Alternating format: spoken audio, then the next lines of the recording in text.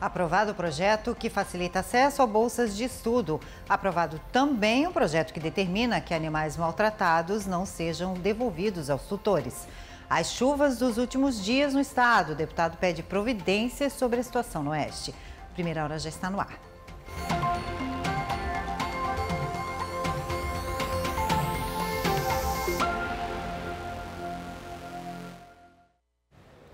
Bom dia. As fortes chuvas dos últimos dias em Santa Catarina voltam a ser assunto em sessão ordinária aqui no Parlamento. O deputado cobra providências sobre a situação no oeste do estado.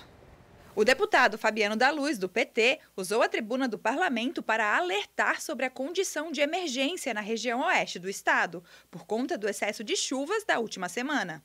Ao todo, são 16 municípios que decretaram situação de emergência em razão das fortes chuvas, que tornou a situação crítica na região, com alagamentos, risco de desabamentos de encostas e cheias dos rios, desalojando e desabrigando 17 famílias. O parlamentar pediu providências ao governo do estado. As chuvas que aconteceram alguns dias atrás em Santa Catarina foi a maior desde 2014. Então, de 2014 para cá, nós enfrentamos um, uma estiagem que perdurou por vários anos e agora nós enfrentamos o problema do excesso de chuva.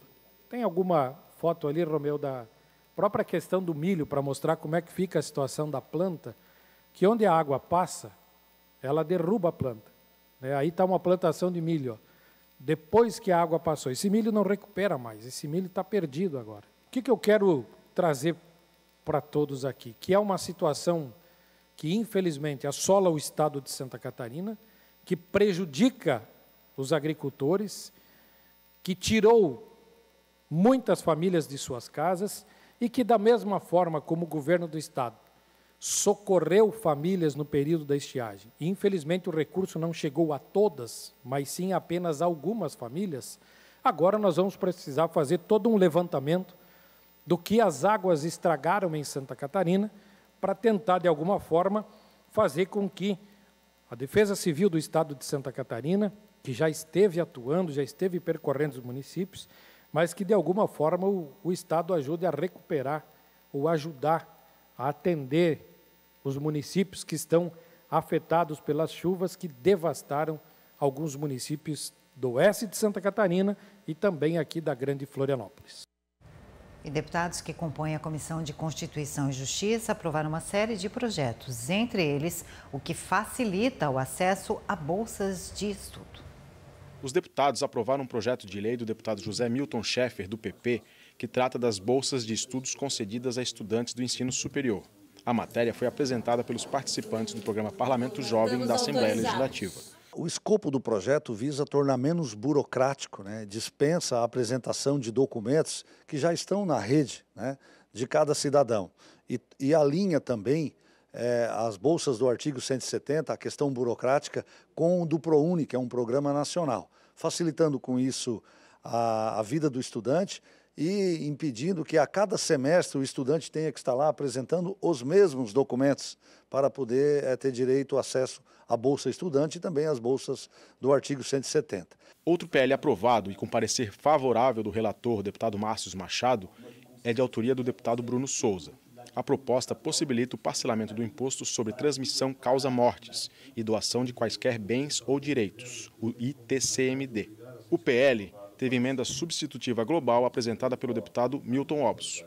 Nós temos um volume bastante grande de inadimplência e achamos que esse projeto de lei fará com que é, muitos devedores possam colocar suas contas em dia com o Estado. Né? Isso, evidentemente, que traz mais recursos para o Estado, né? facilitando, às vezes, você consegue recuperar dinheiro que está fora. Isso é muito importante. O deputado Mauro de Nadal devolveu o pedido de vista de projeto de lei complementar proposto pelo Tribunal de Justiça de Santa Catarina e que teve parecer favorável do relator, deputado Milton Obos. O texto aprovado pela CCJ prevê a criação do programa Renda Mínima para os cartórios de registro civil que têm prejuízo econômico. A ideia é garantir que todo o território catarinense seja atendido pelo serviço. A remuneração será equivalente à de diretor-geral do Tribunal de Justiça e tem impacto financeiro de 10 milhões e 500 mil reais, segundo o PLC enviado pelo Poder Judiciário. A Comissão de Constituição e Justiça aprovou também a continuidade de tramitação da medida provisória do Executivo Estadual que concede crédito presumido de ICMS para distribuidores de combustíveis no comércio de etanol localizados em território estadual. E mais um deputado vai ocupar pela primeira vez uma cadeira aqui na Assembleia. Lucas Neves, do Podemos, é jornalista. Foi o vereador mais votado em Lages em 2016. Foi eleito para o parlamento com mais de 23 mil votos. Quem é Lucas Neves?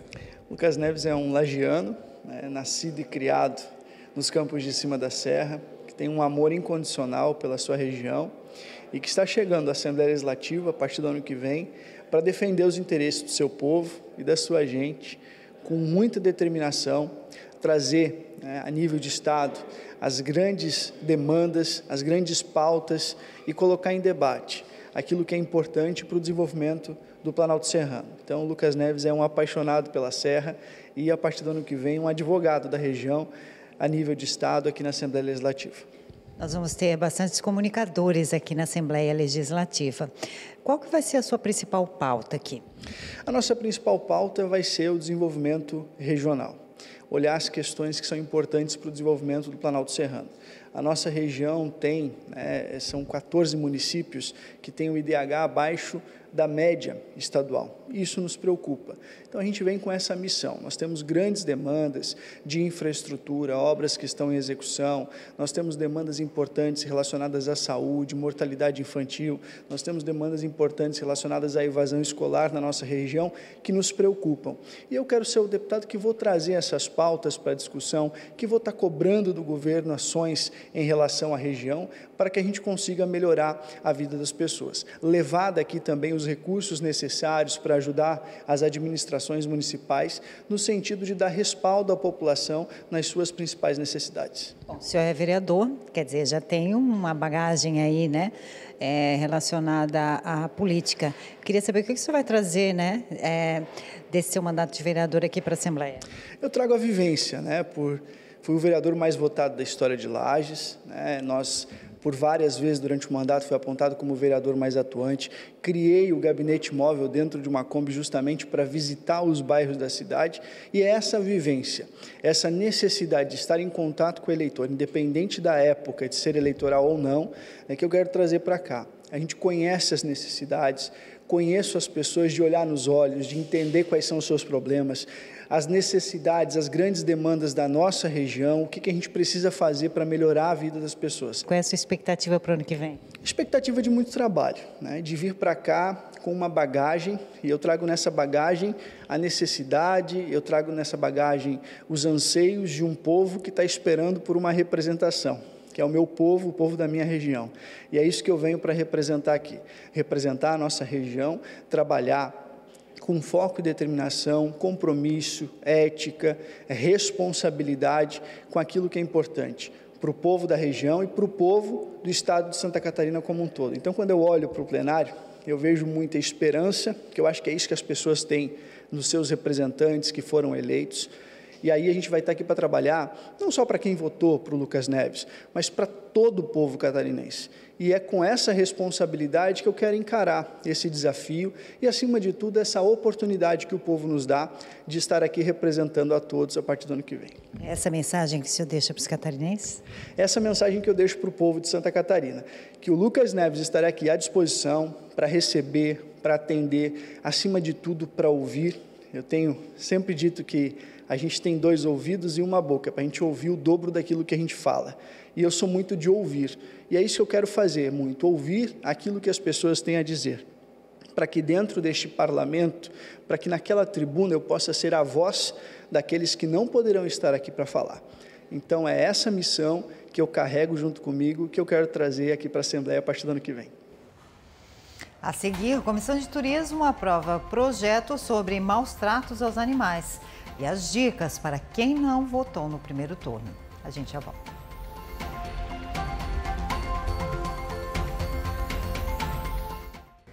De volta com Primeira Hora e vamos conhecer mais um deputado eleito para o primeiro mandato aqui na Assembleia.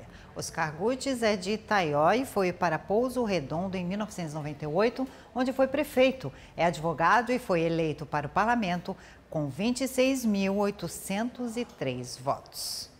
Nascido na cidade de Itaió e resido em Pouso Redondo desde 98. Fui prefeito duas vezes na cidade, de 2017 a 2020, e reeleito em 2020 e fiquei na prefeitura até final de março de 2022. Sou empresário, nasci lá no Taió, né? agricultor, trabalhando na roça, eh, plantando fumo, mexendo com vaca de leite, lenha na época que podia tirar e tal.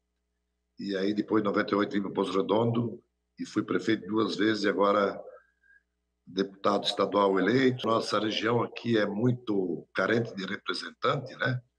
Nós só tinha dois estadual aqui, dois caras que trabalharam até bastante, mas infelizmente nossa região aqui é muito grande, né? E esse foi um dos motivos de eu sair de candidato a prefeito, renunciar ao mandato e ser candidato a deputado, para nós ter mais representantes no Alto Vale. Mas infelizmente ficamos só com dois estaduais de novo, né? Que aqui nós temos 227 mil votos, nós podíamos ter eleito três, quatro, que esse era meu objetivo. Eu estou muito feliz de ter me elegido, né? Deputado, eu queria saber quais são as pautas que o senhor vai trazer para a Assembleia. Acredito que seja da sua região, né? É, a gente vai representar toda Santa Catarina, né? Mas o lema nosso é mais o Alto Vale, né? Até porque a gente é daqui, né? A gente foi muito bem votado aqui. Claro, a gente fez voto em 166 municípios, né? A gente tem um compromisso com todo o Estado, independente se não ganhou voto em alguns municípios. Não muda nada, nós temos aí para representar todo o Estado. Mas a prioridade, com certeza, vai ser Alto Vale, né? até porque somos poucos aqui, vamos ter muito trabalho aqui. Mas as minhas propostas são as mesmas que eu fiz na campanha, né? que, em primeiro lugar, nós temos que ter saúde. Né? Se nós não tivéssemos saúde, talvez eu não estaria nem dando essa entrevista aqui com você. Né? Qual é a última mensagem que o senhor deixa aí para os catarinenses? Primeiro, agradecer vocês né, por essa oportunidade né, que você me deu para dar a entrevista. Eu quero agradecer a cada cidadão, cada cidadã, né, a cada ser humano que depositou essa confiança na gente, me deu essa votação expressiva aqui no Alto Vale, onde eu fiz 23 mil e poucos votos só nos 28 municípios do Alto Vale. E aí eu completei minha eleição com várias cidades de Blumenau, enfim, Joinville, Timbó, Indaial, né? não vou citar tudo aqui, que senão vou ofender alguém, mas agradecer a todos, 161 municípios que me deram um voto de confiança. Claro, teve município de um voto, mas quero agradecer esse voto e quero representar sim. Então, tenho muito orgulho de né, ter me elegido, quero trabalhar muito e agradecer a cada um e cada uma que tanto fez por nós, pedindo voto e votando para a gente. Vou ter gratidão e vou devolver isso ao povo catarinense, o que o povo fez é, para nós. Deputados que compõem a Comissão de Turismo aprovaram um projeto que trata de maus tratos aos animais. Os deputados que fazem parte da Comissão de Turismo e Meio Ambiente da Assembleia Legislativa aprovaram um projeto de lei que altera o Código Estadual de Proteção aos Animais com o objetivo de proibir que animais apreendidos pelas autoridades em razão de terem sofrido maus tratos ou zoofilia sejam devolvidos aos seus tutores. Conforme a proposta de autoria do deputado Márcio Machado, em vez disso, esses animais deverão ser destinados aos municípios que possuem centros de zoonoses ou centros de bem-estar animal, ou para ONGs, santuários ou pessoas físicas, sendo vedado o abate ou a venda.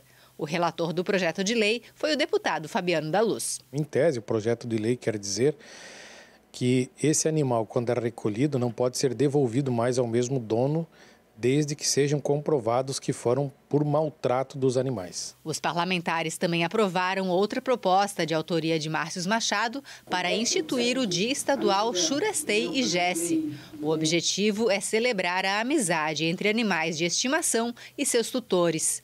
A data deverá ser comemorada anualmente no dia 23 de maio, dia do acidente de automóvel que tirou a vida da dupla. O catarinense Jesse Cos e seu cão Churastei, da raça Golden Retriever, viajavam há anos pelo mundo, a bordo de um Fusca. passaram por 17 países antes do acidente fatal nos Estados Unidos e ficaram conhecidos internacionalmente como exemplo de amizade entre animais e humanos. Ainda durante a reunião da Comissão de Turismo e Meio Ambiente, os deputados aprovaram um projeto de lei dizendo que fica dispensada a licença ambiental das intervenções destinadas à conservação, manutenção, pavimentação, restauração e revitalização de estradas vicinais no estado de Santa Catarina, desde que não haja supressão de vegetação, intervenção em áreas de preservação permanente, em unidades de conservação, áreas de proteção de mananciais ou intervenções em corpos d'água. De autoria do deputado Mauro de Nadal, a proposta teve como relator o deputado Fabiano da Luz. Mas justamente da agilidade na recuperação das rodovias em Santa Catarina, porque o que está acontecendo hoje é que muitas vezes o governo do estado licita uma recuperação de uma rodovia já existente. Mas no momento de começar a obra, ela demora porque tem que retirar mais uma vez a licença ambiental de uma obra que já existe, que só vai ser feita a recuperação dela. E o projeto de lei quer dizer que se essa recuperação da rodovia não for uma ampliação, né, não vai remover novos materiais, não vai derrubar árvores, ou não vai ser uma nova rodovia, sim apenas uma recuperação daquela via já existente, que seja simplificado a licença ambiental para que se dê agilidade na obra de recuperação. Se você não votou no primeiro turno, fique atento às dicas do nosso colega Tiago da Luz das redes sociais. Diga aí, Tiago. Bom dia, Cláudia. Bom dia você que acompanha a primeira hora. Bem, hoje nós vamos continuar com o assunto das eleições, com uma dica super importante para quem não votou no primeiro turno das eleições deste ano. Nós temos um conteúdo em nosso Instagram que responde uma das principais dúvidas destes eleitores. Quem não votou no primeiro turno pode votar no segundo turno? A resposta é sim, desde que este eleitor esteja com um título regularizado e não cancelado. Lembrando que o título é cancelado após três faltas consecutivas nas eleições, sem justificativa para a Justiça Eleitoral. Mas vai um alerta: quem faltou no primeiro turno precisa apresentar a justificativa em até 60 dias. E nós explicamos tudo lá em nosso Instagram. É só você acessar o arroba AssembleiaSC para conferir como fazer e as consequências para quem faltar às eleições e não justifica.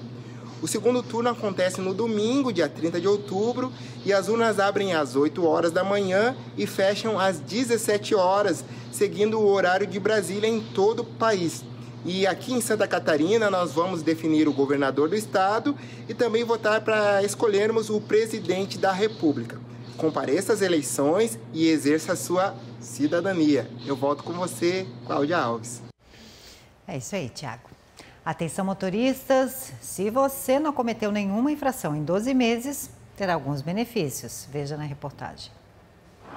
Conforme deliberação do Conselho Nacional de Trânsito, a partir de agora, condutores que não tenham cometido infrações dentro de um prazo de 12 meses terão direito a benefícios como desconto de isenção de taxas, condições diferenciadas para locação de veículos, contratação de seguros, tarifas de pedágio e estacionamento, entre outros.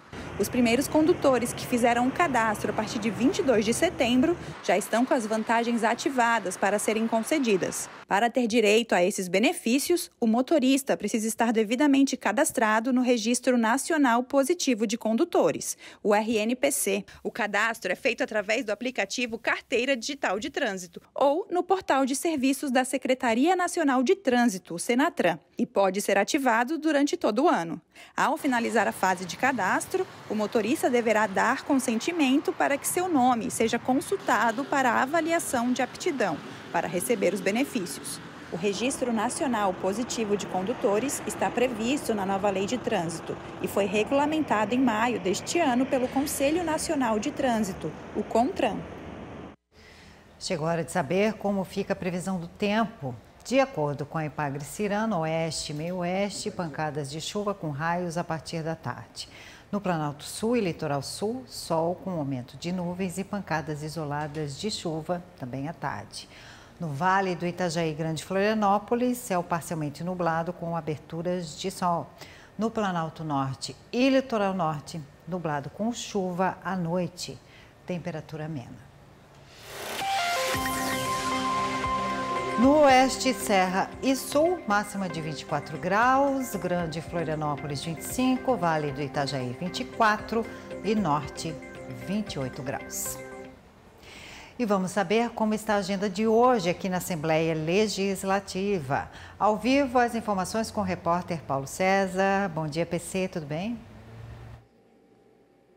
Oi, Cláudia, bom dia para você, bom dia para todo mundo que está conosco aqui no Primeira Hora. Olha só, o dia sim vai ser bem movimentado no Parlamento Catarinense. Para ser uma ideia, às 9 horas da manhã já tem reunião de comissão permanente. A Comissão de Saúde se reúne para deliberar alguns projetos de lei, mas um chama a atenção e que deve ser o principal da, da manhã, que é relacionado à possibilidade de conceder um auxílio a motoristas de transporte escolar e também auxiliares. Depois, às 10 horas da manhã, tem Comissão de Finanças e lá o assunto que deve ser discutido com mais amplitude deve ser o que está relacionado às medidas, às emendas impositivas dos parlamentares. São pelo menos 90 alterações que serão discutidas pelo colegiado hoje. E depois, durante o dia, tem mais programação aqui no Parlamento Catarinense. À uma e meia da tarde tem reunião, às cinco e meia também, às cinco também tem, ou seja, e ainda tem sessão ordinária.